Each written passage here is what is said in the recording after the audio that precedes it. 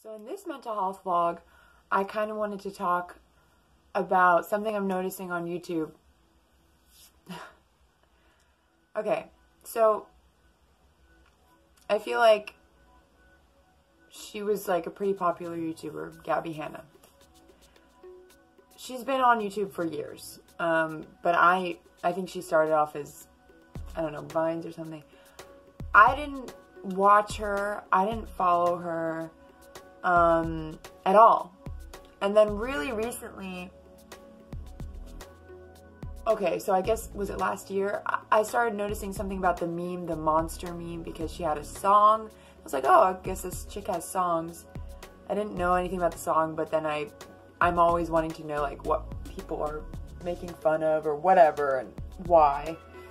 And so I saw sort of got into that a little bit, but then again, I still didn't really look her up or watch her because I was just like, whatever, I don't really care.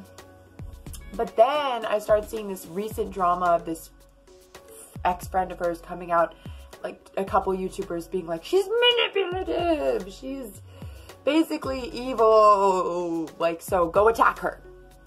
And um, I find it, it's just interesting because this is not just a Gabbie Hanna situation, but this is like a Hailey Baldwin, like, or Hailey Bieber, sorry. This is like a lot of people who are famous and like when people are fans, like the Selena Gomez, like when people are fans of one person, feeling like they have to demonize the other person in a situation. So, okay, I'm gonna get into that in a bit, but the, the, the Gabbie Hanna thing. So, once they were so negative, like this, I don't even know what this girl's name, this this ex-friend of hers, and then Trisha Paytas, I think was the other one.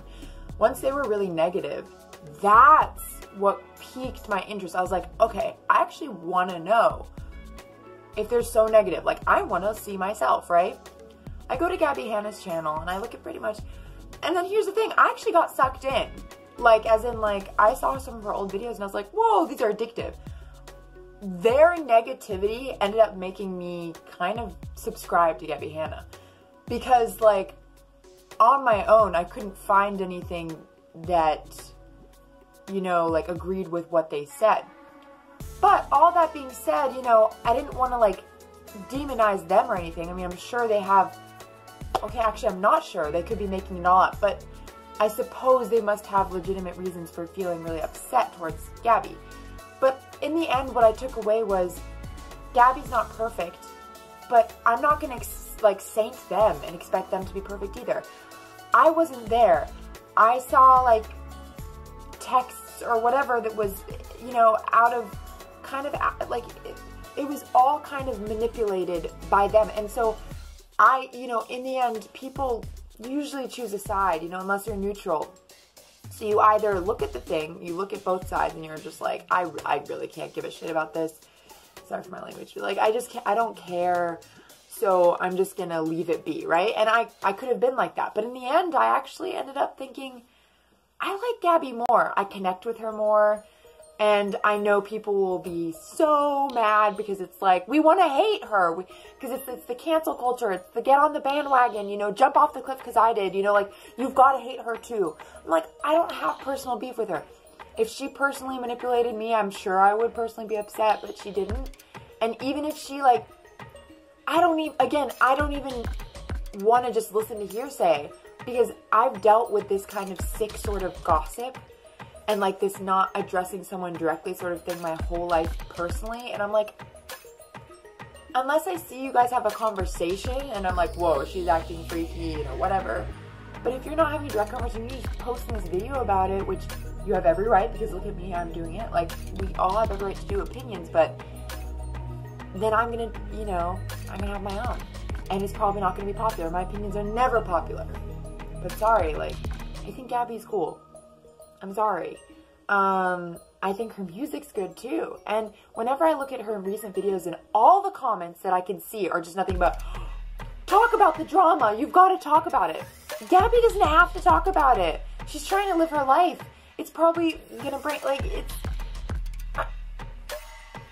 sorry, I'm getting too riled up about this. I mean, I don't, I'm not that, like, I must sound really upset about it. I'm not that upset, but it is annoying.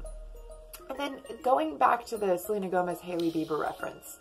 So it's interesting that I'm even taking this side because I'm a Selena Gomez fan first and foremost. I watched Wizards of the Waverly, Play, Waverly Place. I got into her music um, as early as it came out. My name, well, I went by Alex. I, I prefer Alexandra, but you know, her character's name in Wizards is Alex, whatever. Um, she was a, a, girl named Alex, so I thought it was cool. Whatever. Um, Selena, I always connected with and loved.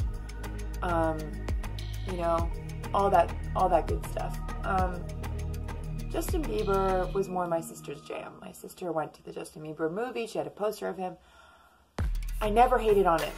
Because again, like, there was that bandwagon hate for Justin Bieber. Like, people just, like, making fun of his hair or whatever. Because he's popular, right? That's the same thing with Gabbie. You want to hate someone's popular.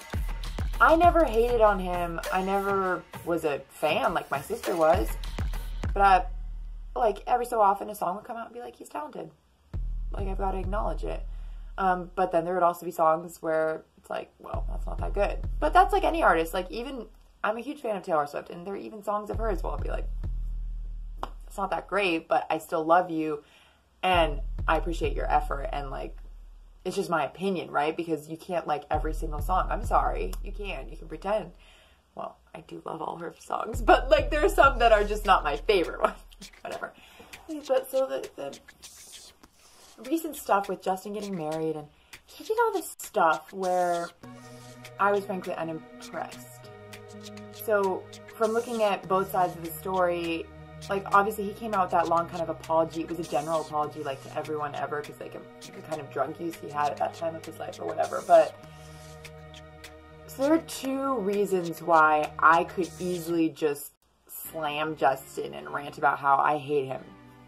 Two reasons. One, because of the fact that he was a horrible boyfriend to Selena, um, you know, a cheater, all that sort of stuff.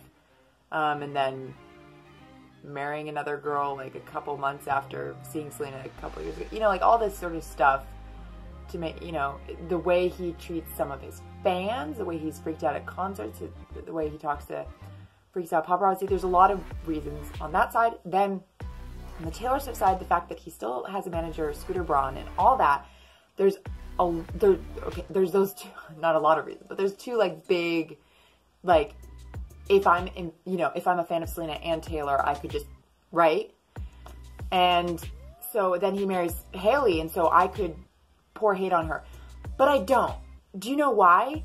Because it's none of my actual business. I can have an opinion, I can be upset with him all I want, but I don't actually know him.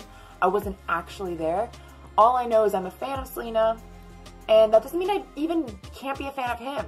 For example, like when he came out with his new song Yummy, I was like, I don't need, like aside from all the whatever personal drama or whatever whoever's manager is, I never want to deprive myself of a new catchy song. So I listened to it, look at the video. I'm like, his his hair, his pink hair is pretty much the coolest thing.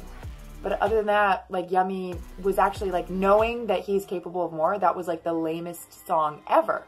And I'm not saying it because of like personal stuff. I'm saying like I like if I had a personal issue to the extent where I was like hating on him, I wouldn't even listen to Yummy because I'd just be like, you know, nothing he does is good.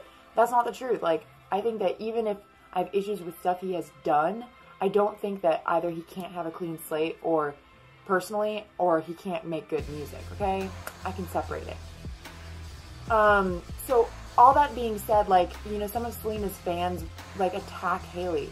That reminds me of people with Gabbie. So, like, I can, it's not even, I wouldn't even call it playing the devil's advocate because Hailey, like, she isn't Justin. She didn't do that stuff to Selena. Like, okay, like, she's biased because she's married to Justin. So she probably, you know, has a completely biased view of Selena and all that sort of stuff and the scooter situation. But she's still her own person, and I think it's totally wrong to just like attack her for something her husband did. Or uh, you know what I'm saying? Like, yeah, I feel bad for her in some ways because of how I've seen his track record with girls. Like, I, I in a way don't want her to be married to him, but at the same time, it's like if she wants to be married to him, I can't control that, and she should be. If she wants to be happy and that's what makes her happy, maybe they're what's right for each other. I don't know. I'm not gonna, you know, I'm not gonna go to her Instagram and hate her. Um, and in fact, maybe I don't follow her, but maybe I will. She, she seems, you know, whatever. the reason I'm I'm drawing Selena because it's not about Selena versus Hailey. It's about the fans. It's about the following. So the people are actually attacking Gabbie on her videos now isn't even that girl who made that stupid video. She's not even wasting her time going on doing that. She stated her opinion, then she moves on. It's the people who watch the video, then they go to Gabbie's. Do they even make videos on YouTube? Or are they just there as trolls? Like, I don't even know. But all I know, it's like, sometimes, you know, you end up liking an underdog. Sometimes you're like, even if this person is a horrible person, like, I'd rather like them because of all the hate they're getting. You know, sounds silly. Like, obviously, like, if someone like Hitler gets a lot of hate, you know, he deserves it. Like, he's, he's evil. You know, like, there's no question. But Gabbie, I mean, when you make those serious accusations against someone who might not be guilty of them, you know, like you have no actual, you're just making judgments based on hearsay or this or that, or something you see on the screen that's clipped and edited. It's kind of, it, it's it's undermining or undervaluing. I don't know what the word is, but it's making actual evil seem not like it's making actual important issues seem not as like you shouldn't put that at the same level. You know, like there are actual important issues. There's actual people who are evil and manipulative that that should be dealt with. Then there are people who just either get over it, move on, leave it alone. Because drawing attention, see, your attention is making me um, give more pot. Your negative attention is making people like me